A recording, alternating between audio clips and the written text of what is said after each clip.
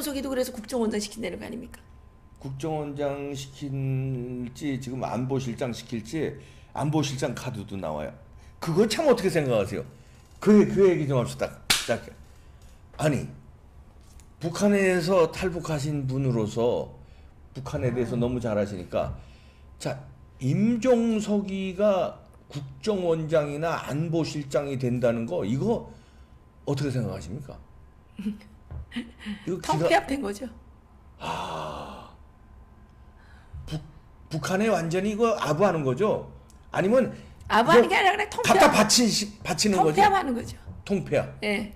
그러니까 음. 우리는 그동안 북한을 자유민주주의 체제로 바꿔야 되는 정말 하나님으로부터 부여받은 사명을 갖고 있었는데 예.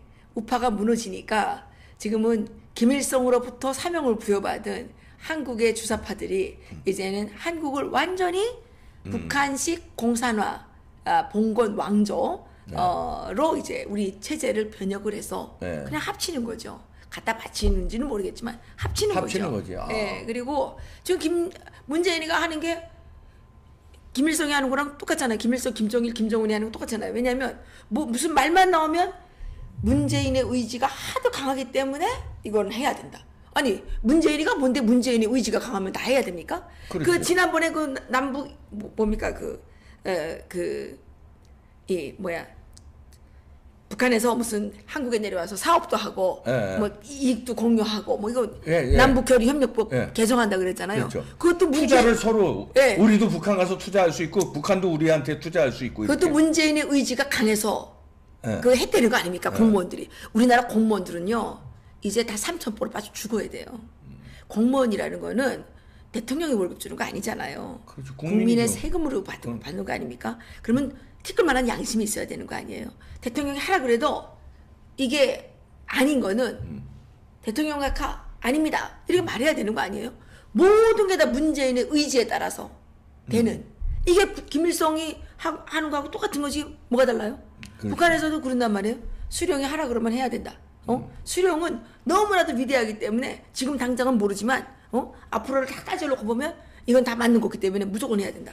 수령의 의지 때문에 다 한 거 아니에요. 음. 그러니까. 그 수령의 의지 때문에 다 해가지고 북한이 300만 명이 굶어 죽는 거지 나라가 된 거 아닙니까? 지, 지구에서 가- 지, 이 지구상에서 가장 가난한 나라가 된게 왜냐? 김일성 그 돌대가리, 김일 김정일 그 색종, 김정은 이, 이 완전 야만 이런 새끼들이 정말 나 분, 분노해서 난 새끼라고 쓸게요. 이런 새끼들이 자기들의 의지에 따라서 하라고 겁박을 줘가지고 독재를 해서 북한이라는 나라가 망한 거 아닙니까? 네. 근데 이 문재인이 이 머리도 좋지 못한 이 돌대가리 같은 놈이 이게 위험수위 올라간. 노- 농짠 빼시죠 하여튼 하여튼 막 그렇게 지금 유혹하는 아니. 분들 많아요 아니 답답하면 문재인이가 모자랐는데 음. 헌법대로 해야지. 음. 예? 원칙대로 해야지. 지가 뭔데 문재인의 의지대로 그렇죠 자유민주 국가에서 그를 밀어붙인다는 게 말이 되겠습니까? 네. 아니 원전도 민- 문재인의 의지가 하도 강해가지고 한다는 거 아니에요? 태양광도 문재인의 의지 때문에 한다는 거 아닙니까? 이거, 이거 기사에 다 그렇게 나왔어요. 내 말이 또 아니에요. 문재인의 의지대로 미국 대선 전에 북미 대 회담 성사에 전력을 기울이는데 또 우리나라에서 미국에다가 로비한 로비 자금이 전 세계 최고라는 거 아닙니까? 예, 미국 로비 자금이 최고예요. 일본보다 많이 했더라고. 야, 근데 이거는 뭐 이번- 이번에 나온 게 아니죠.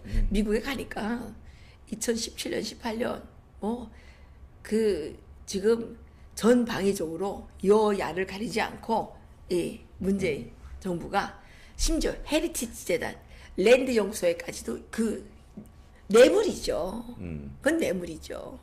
로비 자금, 로비 자금이라는 게 뇌물 아닙니까?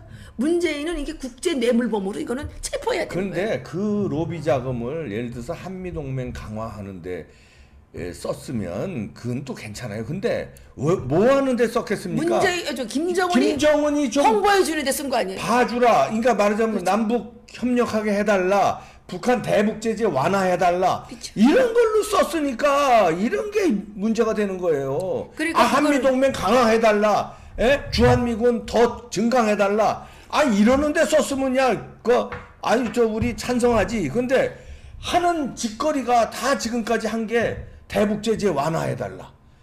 어 그, 그다음에 남북 교류하게 그러니까 해달라. 한미동맹을 강화하는 것은 국가의 국민의 국가와 국민의 이익에 음. 도움이 되지 않습니까? 그건 로비가 아니라 그거는 뭐 그거는 거죠. 비용이죠. 홍보 비용. 그거는 아 그거는 그런 건. 로비해도 좋아 그런 거. 아니 그러니까. 그거는 로비 자금이라고 말하면 안 되고 그거는 국가를 위한 아니, 홍보. 아니, 뭐 미국에서 그런데 그러니까. 이 지금 이 이거는 불법적인 일을 위해서 계속 뇌물을 준 거 아니에요. 그 로비죠, 그거는 로비 한 거 아니에요. 그러니까 정전 선언 하려고 했고요. 예. 정부에서. 그러니까요. 그래서 2018년, 2019년, 아, 2019년 2월까지 계속 종전선언 하려고 하다가 트럼프 대통령이 하도 똑똑해가지고 못한 거죠. 그렇지. 근데 이번에 김경열 이자가 지금 그 더불어민주당 몽땅 다 네. 173명 이 정전선언 무슨 성명서를 낸다 그러대요. 네. 예. 김경열이가 그 지난번에 그 화제가 됐던 그 누굽니까? 그 정호번 예. 탈북 정호번 13명. 그그 사람들을 지배인, 예. 그 사람들을 민변에다 소개해 준 자예요. 네. 표창원하고 같이. 그러니까 그 왜 왜 소개해 줬겠어요? 탈북자들을 북한으로 돌려보내 도록 그러니까요. 회유하기 위해서 그러니까 김경열은 대한민국의 국회의원이 될 자격이 없는 자예요. 근데 그, 그 사람 어느 지역구예요? 어디 지역구요? 그 김경열이 어느 지역구에 나온 사람입니까? 몰라요 저 지역구까지 다 뭐. 그, 그 지역구에서 김경열이를 뽑은 사람들은 예? 정말 아 이거 야 그러니까 이 임종석이가 국정원장이 되든 안보실장이 되든 이렇게 되면은 남북한이 통폐합되는 의미다. 야 김경엽 열이 네, 김경엽. 김경엽 내가 김경 아 뭐 이름 헷갈렸는데 김경엽 김경엽 어디 지역군가 한번 봐주세요. 어디 지역군지를 한번 좀 봐야 되겠어요. 김경엽. 이 지역구 사람들은 정말 그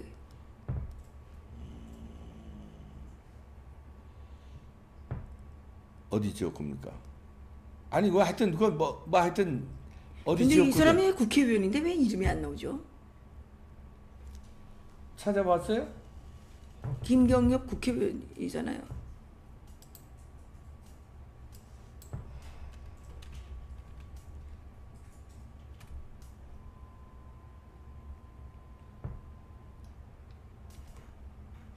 김경엽이 아닌가? 아, 김경엽이 아닌가 본데 이름이. 아니 김경엽 맞는데 저기 종전선언 한 게 김경엽 아니에요?